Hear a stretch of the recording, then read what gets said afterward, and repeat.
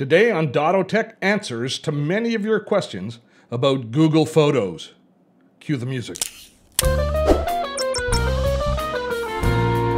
Steve Dotto here. How the heck are you doing this fine day? I am so glad you are joining us. We make tech easy so you can do more. More what? Well, you may find time to organize your photos after today's video because that is the topic du jour. Now, before we begin, I do have a small favor to ask. Could you please subscribe to this channel and while you're at it, ring the notification bell so that you can hear about more of our videos as they come down the pipe.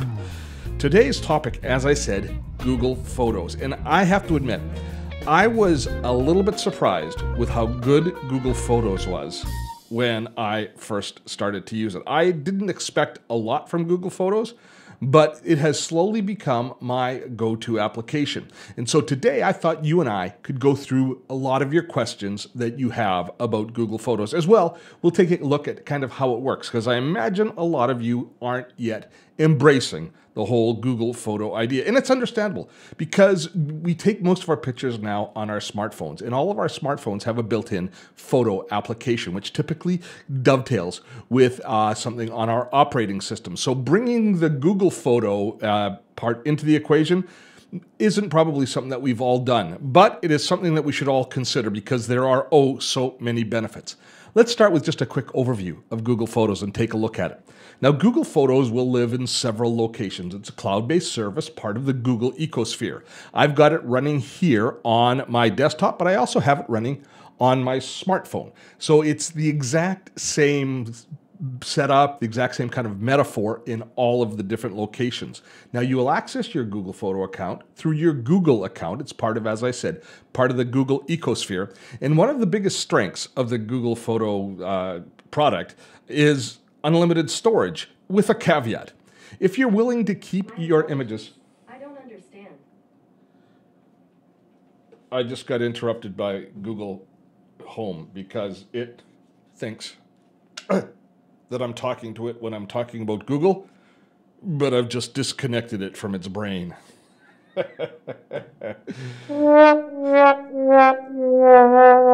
I hope I don't pay for that. Where was I? Ah, yes. Google Photos is mostly free. That is, as long as you are willing to store your images and your videos at what Google considers to be a reasonable resolution. What's a reasonable resolution? Well, if your videos are 1080p, which is high definition, or your photos are 16 megapixels or less, which is a pretty high resolution photo, then you have unlimited storage for free. If you want to have higher storage, if you want to have higher resolution than those images, then your storage counts against your Google Drive quota, and you may need to upgrade your storage in order for you to store all of your images. But all in all, it is a fantastic deal uh, for most of us because we don't need a higher resolution than 16 megapixels, and it gives us just unlimited storage. So that is a fantastic deal. Now, Another nice thing that Google Photos does is it allows us to very quickly take photos and then upload them to the cloud to storage it within Google Photos, which frees up space on our phones. And I know a lot of us are starting to run into uh, storage limitations on our smartphones because we just keep so much information on our smartphones. Now, I will caution you with one caveat.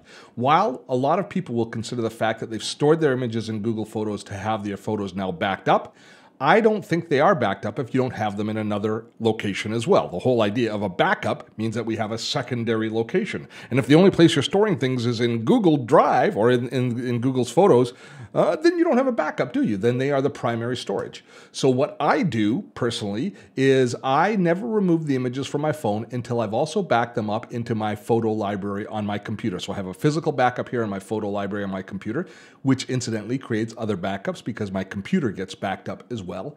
Plus, I back them up to Google Photos. I believe that probably the most valuable single digital asset I have, or the one that's most important to me, are my photos and videos.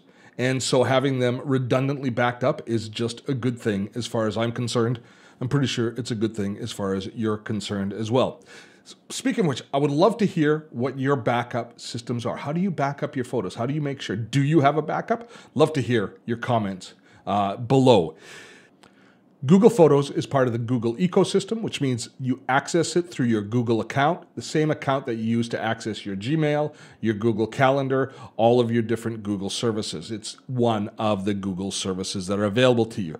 And when you look at it, opening it in the browser as I have it here, it's just pretty much like any other photo management tool. They all have their idiosyncrasies, but you'll very, very quickly figure out how, the, how Google works and how Google Photos manages your images. Down the left-hand side, you have something called the Assistant, which is a constantly changing thing. It's always looking at your photos and trying to figure out creative things for you to do with your photos, such as creating shared albums, photo books, collages, animations. It'll even make movies for you. For example, right here is a doggy movie. I asked it to make a movie of all of my doggy pictures, and look what it did. It did a pretty good job, actually. There's old Farlster. Oh, there's Farley and Mimi. Oh, there, they're sleeping away on the couch. Yes. Huh. They even got a barking theme behind. So it'll it'll create these silly little automated movies using Google's artificial image recognition intelligence uh, to find all the different pictures of your dogs uh, in different doggies uh, to make the movie. And it, it offers this based on trips and a whole bunch of other things. It's a fun, quick way to quickly create all sorts of different memories. And that is kind of a moving target because Google Assistant, they're constantly adding new things to Google Assistant. Uh, the next uh, button down gives you just access to your photos and actually all of your files, actually. Your photos and your videos are available here. Then you've got a sharing menu, which allows you to quickly and effectively share images with uh, with those you love or, or, or other people. Uh, even I guess, I guess you could even share images with people you don't like so much. And then there's a dedicated one for creating photo books. Obviously, there's a revenue side to that uh, where they want you to print off books that you then pay money for and people can make money. But photos is where it's at. Now, the biggest challenge that we all have is organizing our photos. And Google Photos for me has a game changing technology built into it that has completely revolutionized how I organize, how I seek, and how I find photos. And it's based on their image recognition. And this is technology that completely blew me away. If you just click in the search bar in Google Photos, up pops a unique window that includes different names of recent searches, uh, the ability to choose different types of media to search for, but then this whole roster of faces that it finds within your images. Depending on what country you live in, and most of you will have this available to you, Google Photos goes through and parses out the faces in the photos and collects them together and then asks you who they are. And if you identify people uh, based on their faces, uh, then you can actually start to create searches based on who is in the photo. So if we take a look, if we just click here on this side arrow, it basically pops up all of the different faces of people who it finds in my photos. If you take a look there, and in many cases, what happens is I've gone through, I've clicked on the individual, and I've assigned a name. So I can now search for all of the images that contain that person, that person, or that pet. You see here, I've got Smidget there, or sorry, Smidget there, and Mimi, our cat here. So if I want all the pictures of my cat, I can just quickly do a search, and up will come all the pictures that I've taken of the cat Mimi over the past few years that are stored in Google Photos. This is truly amazing technology. And as I scroll down, you can see there's lots of people who I haven't yet assigned. Oh, there's my there's my good buddy John Beeler. Let me just add John.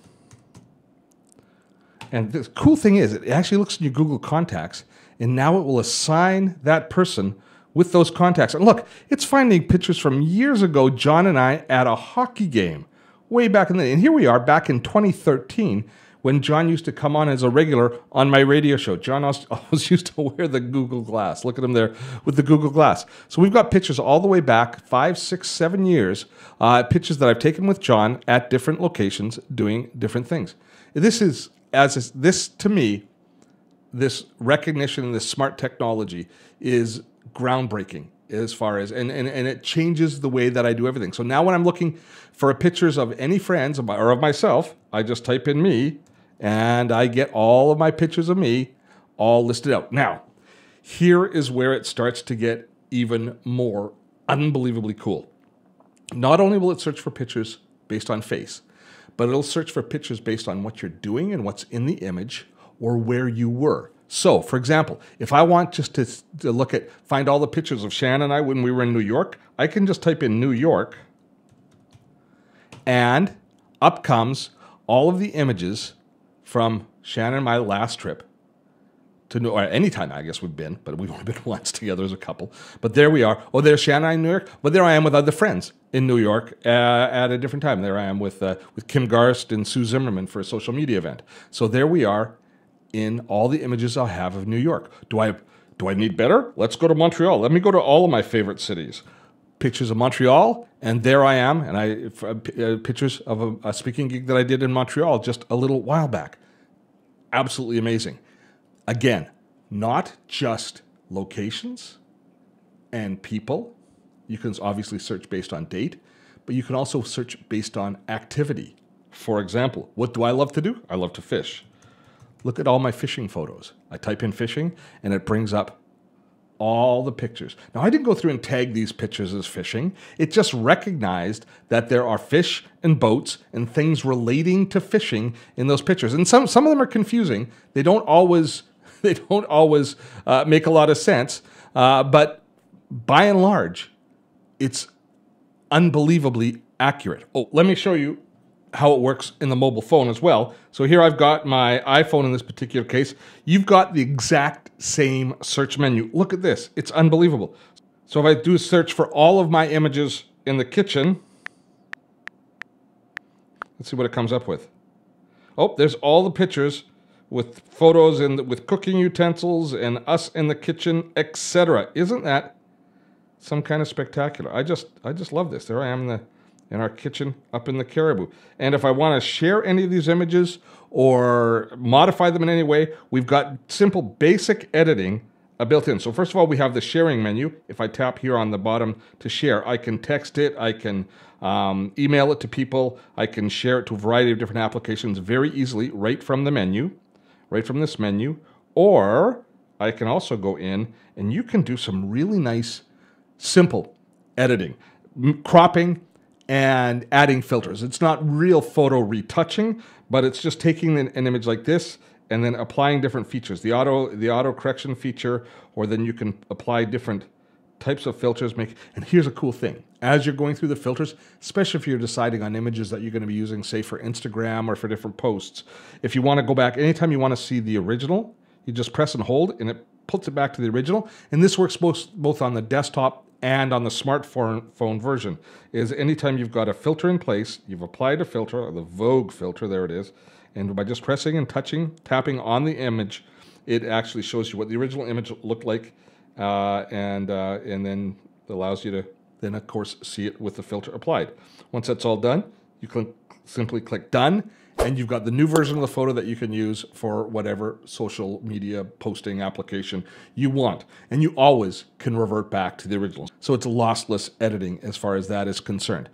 Google Photos has become a part of my photo strategy. Not my entire photo storage and library strategy, but a significant part of my strategy. And I think it's well worth taking a look at for your photo strategy as well. Free, ubiquitous, easy to use, some incredible intelligence built in that helps you organizationally to find the photos that you look for. And increasingly, as you take hundreds and thousands of photos a year, being able to effectively search for the photos and find photos that you want and that are valuable to you is going to be there's going to be a premium based on that ability. So you can spend a lot of time going through and organizing and deleting and naming and tagging photos or you can learn to rely on search that's built into things like Google Photo that is going to have a profound impact on how you organize your images in years to come.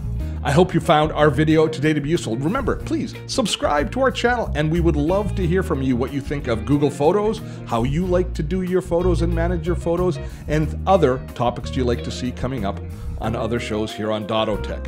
Till next time, I'm Steve Dotto. Have fun storming a castle.